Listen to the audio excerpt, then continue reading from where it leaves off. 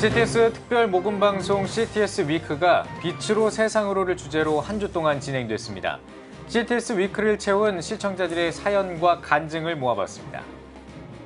제67회 한국기독교교회협의회 정기총회가 열렸습니다. 신임 회장의 연동교회 이성희 목사가 선출됐습니다. 화재가 빈번히 발생하는 겨울을 앞두고 서울에 있는 한 교회가 소방 훈련을 실시했습니다. CTS가 그 현장에 다녀왔습니다. 이스라엘 무장 테러 단체 하마스가 또다시 이스라엘의 로켓 공격을 감행했습니다. 로켓의 영향권 안에 사는 이스라엘 남부 지역 주민들은 공포에 떨었습니다. 독일 정부가 1차 대전 종전 100주년 기념식에서 다시 한번 사죄의 뜻을 보였습니다.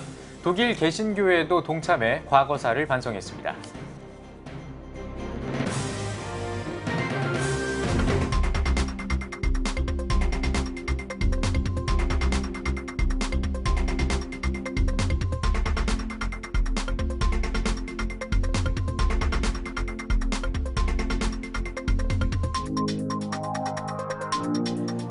시청자 여러분 안녕하십니까? 11월 16일 금요일 CTS 뉴스입니다.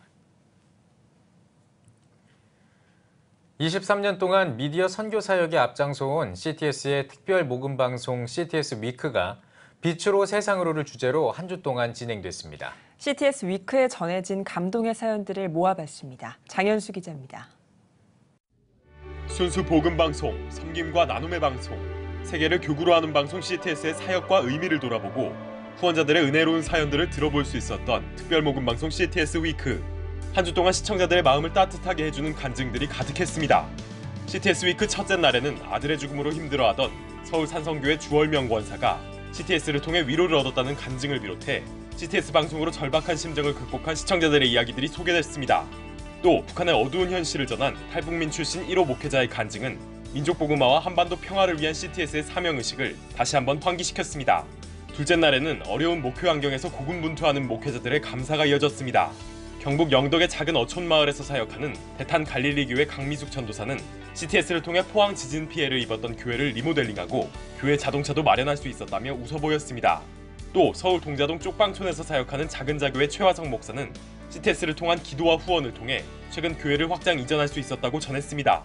예, 너무 기가 막힌 건 CTS의 그 아, 방송 이후에 건물이 하나 나온 거예요. 예, 그 건물에 아 나오자마자 한 2, 3일 있다가 CTS 후원금이 들어왔어. 예, 그래서 제가 그때 또 히브리서 11장 6절의 말씀이 들려왔어요. 셋째 날에는 개인과 가정의 회복을 체험했던 출연자들의 간증이 방송됐습니다. 환경의 어려움 속에서 CTS 방송 출연으로 딸과 관계를 회복할 수 있었다는 오은혜 전도사. CTS의 기도와 후원 속에 혈액암 투병을 이어가고 있는 찬양 사역자 박준근 목사의 간증은 진한 감동을 남겼습니다. 또 삼촌의 죽음으로 우울해진 가족을 위해 콜링갓에 사연을 보냈던 어린이는 저금통을 기부하며 고사리손으로 방송 선교 사역에 동참했습니다. 다음 세대 선교, 미디어 사역의 중요성을 알린 넷째 날에도 CTS 시청자들의 이야기는 계속됐습니다. CTS 방송이 삶의 위로가 됐다는 찬양 사역자 한성 전도사. 직접 청소년과 청년들을 위해 CTS 라디오 프로그램을 진행하게 된 이야기를 전했습니다. 또 군선교회 매진해온 하늘소망 해병교회 박형희 목사는 교회를 지을 때 생긴 빚을 CTS 원으로 다 갚을 수 있었다며 하나님께 영광을 돌리기도 했습니다. 많은 후원 정도가 아니라 저는 태어나서 그렇게 관심을 받아본 적이 처음이었어요. 하나님께서 그 대한민국 군법에는 없는 법을 허락하셔서 거기에 세- 우리나라 최초로 이 예배당이 쓴 거예요. 얼마나 놀라운 일입니까? 복음의 빛을 세상에 전하기 위한 CTS의 노력에 인생이 달라진 많은 사람들 미디어 선교 사역을 통해 하나님의 역사가 일어나고 있습니다. CTS 뉴스 장현수입니다. 한국기독교교회협의회가 제67회 정기총회를 개최했습니다. 신임 회장에는 연동교회 이성희 목사가 선출됐습니다. 새로운 리더십을 선출하고 사업 계획과 예산 등을 심의한 교회협의 67회 정기총회 소식을 유현석 기자가 전해드립니다.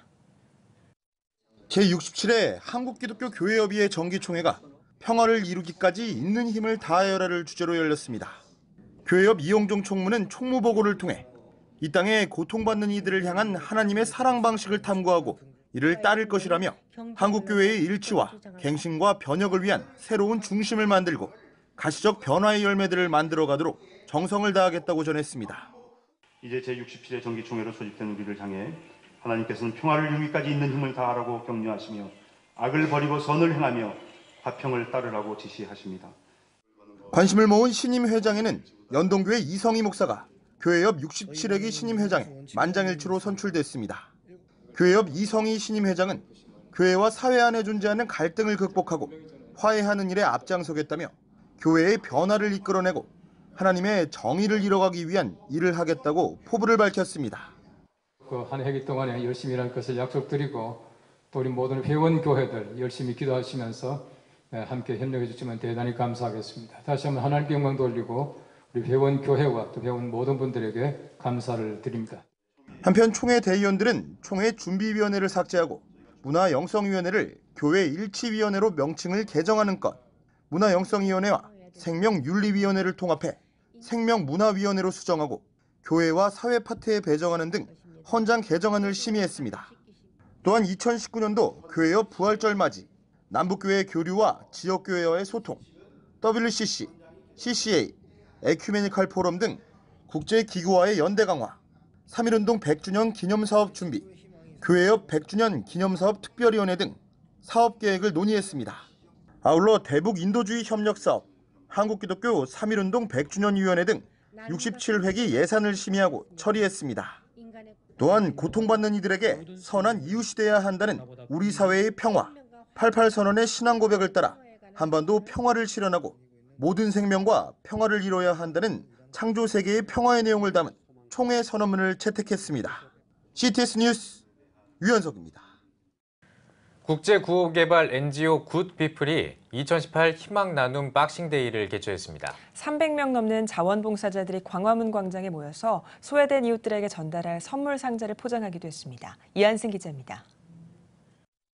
자원봉사자들이 김과 밀가루, 참기름 등 생필품을 가득 담은 박스를 정성스럽게 포장합니다. 2018 희망 나눔 박싱데이 현장. 광화문 광장에 모인 300여 명의 자원봉사자들의 얼굴에는 행복한 미소가 가득합니다. 연말 연시에 이제 날씨가 더 추워지고 올해도 작년보다 춥다고 할- 하는데 이제 이 물품 받으시는 분들 좀 따뜻하게 연말 나시면 감사하겠습니다.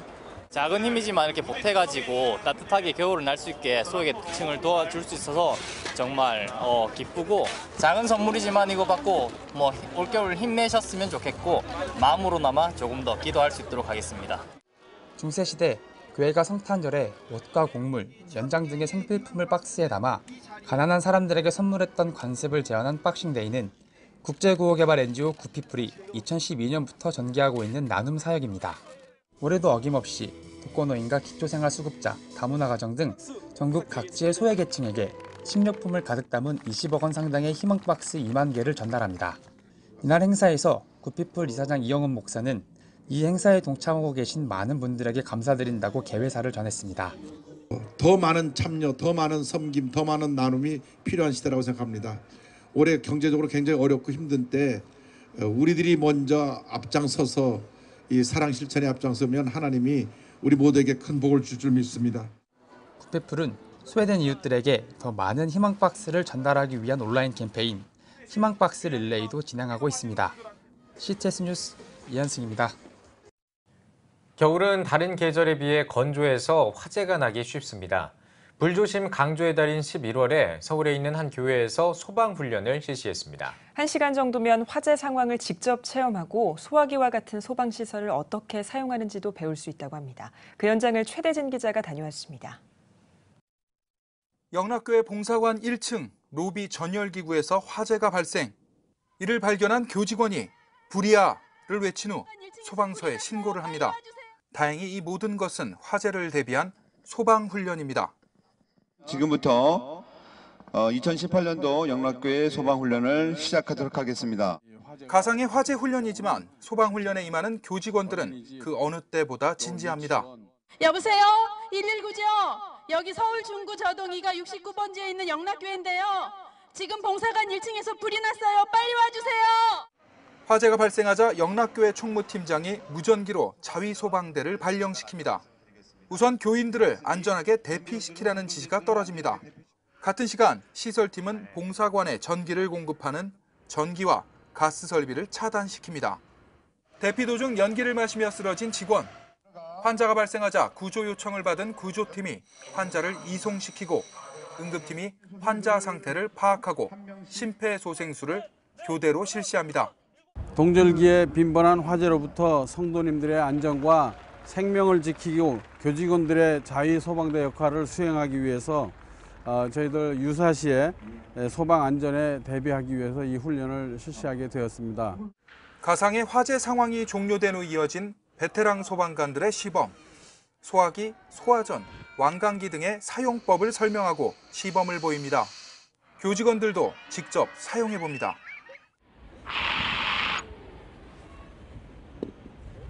화재가 발생했을 경우 초기 진압과 대피로를 확보, 숙지하는 것이 가장 중요하다고 소방 전문가들은 말합니다.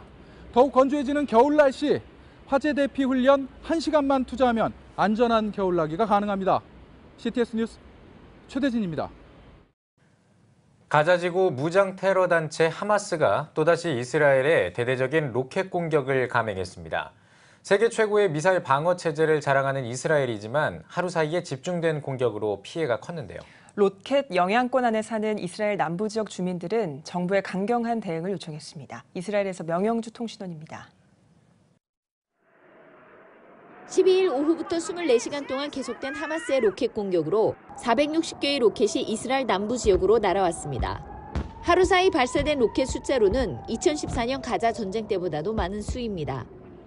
미사일 방어 체제인 아이언돔이 막아냈지만 수십 개의 로켓은 아시켈론, 스데롯, 키스핌 등 가자 국경 근방 도시와 키부츠에 떨어졌습니다. 아시켈론에 사는 팔레스타인인이 무너진 건물 더미에 깔려 사망했고 이외에 90여 명이 중경상을 입었습니다. 이스라엘 군인들이 타고 있던 버스가 대전차 미사일에 맞아 19살 군인 한 명이 중태에 빠졌습니다.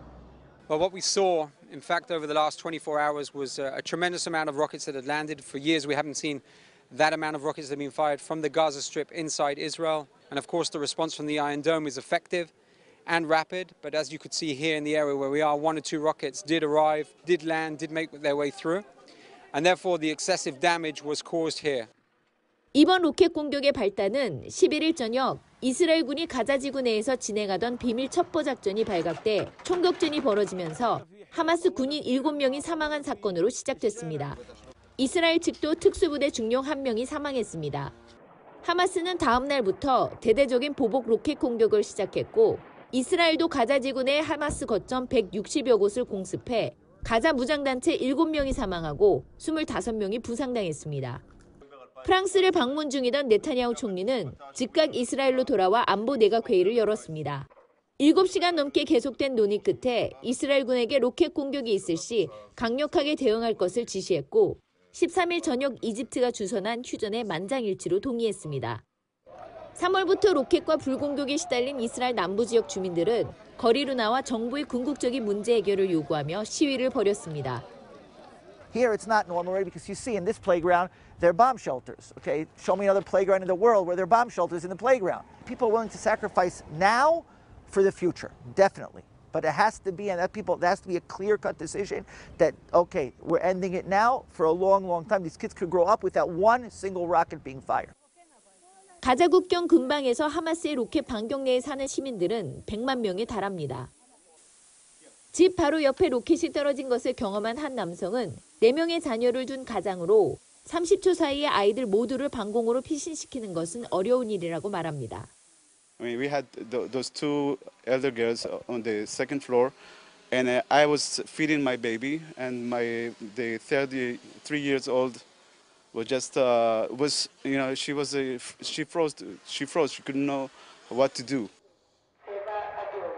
하마스의 로켓 공격과 이스라엘의 보복 폭격, 그리고 휴전, 해를 거듭하며 쳇바퀴 돌듯 반복되고 있는 이 악순환은 북쪽의 이란과 레바논 헤즈볼라의 위협을 앞에 둔 이스라엘에게 해결하기 힘든 난제가 되고 있습니다. 이스라엘 가자 국경에서 CTS 뉴스 명영주입니다.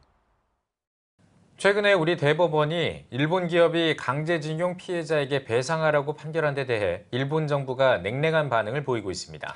반면 독일 정부는 파리에서 열린 1차 대전 종전 100주년 행사에서 또 한 번 과거사를 반성했습니다. 베를린에서 김영환 통신원입니다. 1914년부터 18년까지 4년간 계속된 1차 세계대전. 참전 군인만 900만 명 이상 사망한 역사상 가장 참혹했던 전쟁이었습니다. 지난 11일 종전 100주년을 기념하는 행사에 승전국과 패전국 정상이 모였습니다. 각국의 정상들은 전쟁 없는 세계를 희망했습니다. 전날 독일의 앙겔라 메르켈 총리는 마크롱 프랑스 대통령과 함께 프랑스 북부 콩피에뉴 숲을 방문했습니다. 콩피에뉴 숲은 100년 전 독일과 연합군의 휴정 협정이 체결된 곳, 사실상 독일의 항복 서명이 이루어진 장소입니다. 전범 국가였던 독일의 정상이 이곳을 방문한 것은 2차 세계대전 이후 처음이었습니다. 메르켈 총리는 이 자리에서 독일은 세계가 더 평화로워질 수 있다면 어떤 일이라도 할 것이라고 전하며 세계 평화 수호 의지를 다졌습니다. 앞선 9일 베를린에서는 홀로코스트 기념공원에서 수정의 밤 80주년 행사가 열렸습니다. 1938년 11월 7일 독일계 유대인이 나치의 유대인 학대에 항의하며 프랑스 주재 독일 대사관의 외교관을 저격했습니다. 독일 내 반유대주의가 확산하면서 나치 당원들은 유대인의 상점과 주택을 공격했습니다. 하룻밤 사이에 사망자만 1,300여 명. 이후 나치는 3만여 명의 유대인을 작세나우젠 강제 수용소에 가두었습니다. 당시 유대인 상점에 깨진 유리가 거리 위에서 수정처럼 빛난다고 해서 붙여진 이름 수정의 밤. 참혹했던 역사를 잊지 않겠다는 시민과 개신교계 인사들이 이날 행사에 함께했습니다. Heute sind es Rechtspopulisten und Rechtsextremisten, die mit immer wieder neuen Provokationen antesten wollen, wie weit man heute gehen kann. Wie viel Hass und Hetze gegen Juden, gegen geflüchtete Menschen, gegen Minderheiten die Bürgerinnen und Bürger unseres Landes heute zu dulden gewillt sind. 최근 일부 극우주의자들이 독일의 과거사를 미화하고 이민자들에 대한 분노와 증오를 부추기고 있지만 독일 개신교회 협회는 증오와 미움은 우리의 미래를 빼앗을 뿐이라고 말합니다. 베를린에서 CTS 뉴스 김영환입니다. 필리핀 한인 유학생을 위한 코스타가 필리핀 라구나에서 열렸습니다. 그 뜨거웠던 집회 현장을 필리핀에서 윤여일 통신원이 전해드립니다. 더 좋은 친구들을 만나고 더 좋은 교회를 알 수도 있어서 서로 친구가 돼도 좋죠. 배울 것들도 많고 되게 좋은 시간인 것 같아요. 그냥 하나님만 보고 기도하고 내 진심으로 내가 뭘 원하는지 내 비전이 뭔지 잘 알아갈 것 같아요. 필리핀 한인 유학생을 위한 연합 영성 집회인 필리핀 코스타가 올해로 12회째 열리고 있습니다. 십자가 그 놀라운 은혜라는 주제로 진행된 2018 필리핀 코스타는 필리핀 전역에 흩어져 있는 한인 청년과 학생들 560여 명이 모인 가운데 진행됐습니다. 개회 예배에 말씀을 전한 제주충신교회 권호희 목사는 주님께서 한 영혼을 귀히 여김을 전하며 학생들이 주님의 사랑과 은혜를 온전히 깨닫길 바랐습니다. 또한 주 강사인 조시아치 목사는 우리를 위해 싸우시는 하나님에 대해 알고 변화된 우리가 십자가로 사는 법에 대해 말씀 집회를 이어갔습니다. 코스타가 지금 33년이 되었습니다. 코스타 이 필리핀 코스타 이제 12년째인데요. 필리핀 코스타도 어려운 시절이 있었지만 이번 2018년은 특별한 해였습니다. 모든 교회, 모든 스탭들, 목사님들, 선교사님들, 장로님들이 뭉쳐서 그야말로 연합을 이뤄낸 기가 막힌 수련회였습니다. 코스탄들은 3박 4일간의 일정 동안 10명의 강사들과 함께하며 성경 강해, 간증, 선택 세미나, 그리고 중보 기도와 상담 등 다양한 주제와 나눔으로 은혜를 나눴습니다. 특별히 학생들의 눈높이에 맞춘 찬양 사역자들의 미니 콘서트와 장기자랑 순서는 집회의 열기를 뜨겁게 했습니다. 또한 주님께 부르짖는 기도의 시간은 학생들의 삶과 비전을 다시금 주님께 맡기는 시간으로 채워졌습니다. 이제는 저희 해외에 나와 있는 교포 자녀들이 세상에 눈 돌리는 것보다 하나님 예수 그리스도에게 눈 돌리는 좋은 기회 이것이 바로 코스타가 아닌가 생각합니다. 이번에도 전국에서 모인 약 560명의 학생들이 함께 했습니다. 하나님이 함께 하셨습니다. 이 코스타는 계속 이어나가야 될 것으로 믿습니다. 이 필리핀 코스타를 통해서 다시 필리핀 땅에 하나님의 나라가 또 전 세계에 흩어져 있는 코스타들에게 용기와 희망을 주는 다시 부흥하는 코스타 어, 그렇게 될 줄로 믿습니다. 주님의 사랑과 소명을 확인한 필리핀 코스탄들이 코스타 이후의 삶도 주님 뜻 가운데 살아가길 기대합니다. 필리핀 라구나에서 CTS 뉴스 윤열입니다. 백성예술대학교가 스토리가 있는 음악 쉼터 행사를 개최했습니다. 즐거운 친구를 뜻하는 순 우리말 라온 악기를 주제로 열린 이번 공연에는 백성예대 교수진과 한국음악과 관현악과 학생들, 퓨전 국악 그룹인 놀이터가 참가해 무대를 꾸몄습니다. 백성예대는 지역 주민들의 수준 높은 문화 생활을 돕기 위해 스토리가 있는 음악 쉼터 행사를 이어오고 있습니다.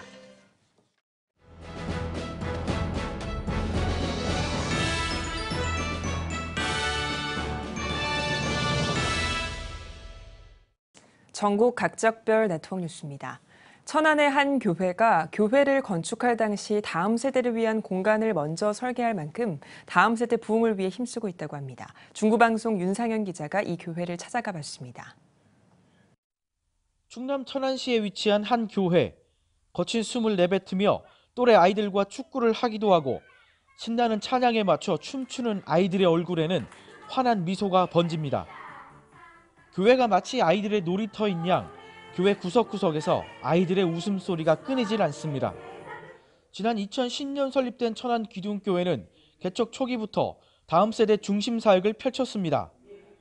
천안 기둥교회 정초로 담임 목사는 다음 세대가 즐거워하는 교회가 되기 위해 목회 초기부터 지금까지 힘쓰고 있습니다. 그거든요. 다음 세대를 세운다라는 것은 다음 세대 중심으로 다음 세대를 위해서 모든 것이 부족하더라도 이, 이전 세대가 희생해야 되고 헌신해야 된다는 것을 보여줬던 교회입니다. 그래서 우리 교회도 어, 그것의 영향을 받았죠. 어, 교회 설계를 할 때부터 아이들을 위한 공간을 먼저 빼놓고 나머지는 어른들을 위한 공간으로 사용하겠다. 교회 건축 당시 설계 단계에서부터 우선적으로 다음 세대를 위한 공간부터 확보했습니다. 다음 세대 아이들이 예배 드릴 교육관과 뛰어놀 수 있는 운동장까지 모두 철저하게 다음 세대 아이들을 위한 공간입니다. 다음 세대가 즐거워하는 교회를 지향하면서 열매들이 맺히기 시작했습니다. 개척 후 8년이 지난 지금 10대 이하 어린이들이 교인의 35%까지 증가했습니다. 다음 세대 연령이 증가하면서 그들의 부모 세대인 3, 40대는 전체 교인의 50%까지 증가했습니다. 네, 아이들이 우선 교회를 너무 좋아하고 편안하게 생각하고 즐거워하고 그래서 어, 이렇게 하나님을 예배하는 게 정말 즐겁구나. 어, 그래서 그 부분을 가장 만족하고 있고요. 공간뿐만 아니라 다음 세대를 위한 프로그램도 진행하고 있습니다. 재능을 가진 평신도 사역자들이 세워지면서 클라리넷 연주 클래스, 유소년 축구 교실 등 여러 프로그램을 시작했습니다. 특히 유소년 축구 교실은 활동량이 많은 아이들에게 뛸 수 있는 공간을 마련해주고 단체 활동을 통한 바른 인성을 갖게 하는데 그 목적을 두고 있습니다. 어, 교회에서 영적인 양식도 얻고 건강함도 얻지만 축구를 통해서 또 육적으로도 건강하면서 영육의 강건함을 또 같이 얻어갈 수 있는 기회가 되는 것 같아서 아이들이 뛰어놀 때마다 또 이렇게 축구를 할 때마다 어, 마음속으로는 기쁨과 되게 보람을 느끼고 있습니다. 다음 세대가 행복한 천안 기둥교회. 정 목사는 교회가 어린이들이 뛰어놀 수 있는 거룩한 놀이터가 되어야 한다며 다음 세대를 위해 아낌없이 주는 교회, 그런 목회자가 되고 싶다고 전합니다. CTS 뉴스 윤상현입니다. 해원 기념사업회가 광신대학교에서 제12회 해원 기념 강좌를 마련했습니다. 강좌에서 대한예수교장로회 합동 이승희 총회장은 정규호 목사님께서 혼신의 힘을 다해 지켜서 우리에게 물려주신 개혁주의 정통 보수 신학은 절대 변하지 않아야 할 우리의 사명이고 십자가라며 구원을 위한 하나님의 계획과 섭리를 깨달아 귀하게 쓰임받는 목회자들이 되길 바란다고 전했습니다. 해원 기념 사업회는 조선신학교 51인 신앙동지회 회장과 대한예수교장로회 총회장 등을 지냈던 해원 고 정규호 목사의 신학과 신앙을 이어가기 위해 기념 강좌를 마련하고 장학금을 전달하는 사역도 진행하고 있습니다. 광주권 기독교수연합회가 광주교육대학교에서 제9회 기독교수 연합 찬양제를 진행했습니다. 연합회 회장인 광주교육대학교 홍승현 교수는 캠퍼스에는 수많은 영혼들이 길을 잃고 방황하고 있다며 찬양제를 통해 기독교수들의 영성이 회복돼 캠퍼스에 부흥이 일어나길 바란다고 전했습니다. 이어진 찬양제에서 광주교육대학교와 조선대, 전남대와 광주대, 조선이공대 등 총 7개 대학의 기독 교수들이 합창을 선보였으며 각 대학의 기독학생회가 참여한 특별 찬양도 진행됐습니다. 포항 충진교회가 설립 40주년을 기념해 이웃 초청 힐링 콘서트를 개최했습니다. 콘서트에는 싱어송라이터 윤지현과 아레스노바 남성 중창단, 필그림 소년소녀 합창단이 출연해 찬양과 합창, 전통민요 부르기 등 다양한 공연을 선보였습니다. 포항 충진교회는 사랑의 차 나누기와 병원 전도 사역, 해외 선교사 파송 등 다양한 섬기는 사역을 진행하고 있습니다. 괴산군 기독교연합회가 묵- 목도 성결교회에서 2018년 정기총회를 개최했습니다. 예배에서 괴산군 기독교연합회장 김창호 목사는 요셉은 어려움과 고난 가운데에서도 하나님을 중심으로 모시고 살 때 복을 받았다며 하나님 중심으로 사는 목사님들과 교회를 통해 복을 받는 괴산군이 되길 바란다고 전했습니다. 신임 회장 목도 성결교회 장성남 목사는 한 해 동안 헌신해 주신 괴산군 기독교연합회 목사님들께 감사드린다며 맡은 역할을 잘 감당할 수 있도록 기도를 부탁한다고 당부했습니다. 이어 2018년도 사업 보고와 신고 임원 교체 등의 회무 처리가 진행됐습니다. 경인 지역 청년들의 회복을 위한 제6회 기독 청년 연합 집회가 동암교회에서 열렸습니다. 승리의 함성을 주제로 열린 연합 집회에서 강사로 나선 탱크 미니스트리 홍민기 목사는 신앙의 안진뱅이가 되지 말고 예수와 함께 십자가를 지고 예수의 이름으로 승부를 거는 믿음의 청년들이 되자고 권면했습니다. 이어 500여 명의 청년들은 찬양과 기도를 통해 예배와 신앙을 회복하고 삶의 영역에서 믿음의 자녀로 살아갈 것을 결단했습니다. 엘피스 미니스트리와 CTS 경인방송은 7년 동안 인천 지역 7개 지역구를 순회하며 경인 지역 기독청년 연합 집회를 개최하고 있습니다. 목동 제1교회와 함께하는 따뜻한 의식주 나눔 행사가 열렸습니다. 목동 제1교회는 따뜻한 정성과 손길이 이웃 주민들에게 꿈과 희망을 주길 바란다고 말했습니다. 전달식에서 김수영 양천구청장은 교회가 이 시대 희망이라며 수고한 교회들의 감사를 전했습니다. 교회가 매년 그 성탄절 헌금을 성도들이 내면은 그걸 가지고 이웃을 봉사하는 일에 써요. 이 겨울나기 김장 행사에 구청과 함께 하게 되었습니다. 이날 당, 담근 김장김치와 방한복, 이불 세트는 양천구의 취약계층인 홀로 사는 50대 남성들과 저소득 주민 662가정에 전달됐습니다. 이도종 목사 순교 70주년 기념 카리스 합창단 제8회 정기연주회가 제주 아트센터에서 열렸습니다. 이번 연주회는 제주도 출신의 첫 번째 목사이자 순교자인 이도종 목사의 순교 신앙을 나누기 위해 마련됐습니다. 연주회에는 카리스 합창단의 주님만이 나의 전부입니다와 지금까지 지내온 것 등의 찬양과 이도종 목사 추모 영상 등 다채로운 순서로 진행됐습니다. 카리스 합창단은 제주도의 기독교인들로 구성된 초교파 혼성 합창단으로서 찬양을 통해 그리스도의 사랑을 전하고 있습니다.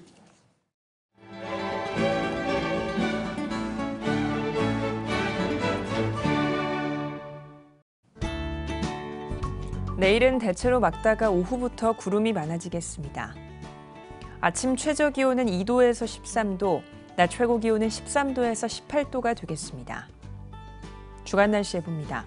기압고리 영향으로 18일은 제주도에, 19일은 제주도와 전남, 경남에 비가 오겠습니다.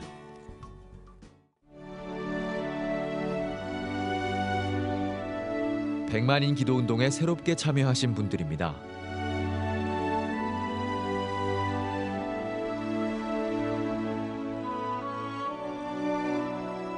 백만인 기도 운동을 통해 보내주신 후원금은 국내는 물론 전 세계를 향한 CTS의 영상 선교 사역을 위해 소중하게 쓰이고 있습니다.